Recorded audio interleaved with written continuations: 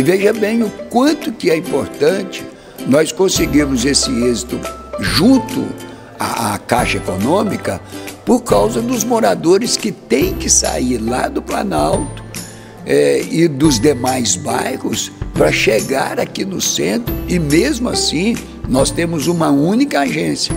E as agências lotéricas que nós temos, elas estão todas ligadas na área central. Então eu vejo que se houver realmente uma disposição por parte da Caixa de atender a população nesse aspecto, eu creio que vai ser muito importante.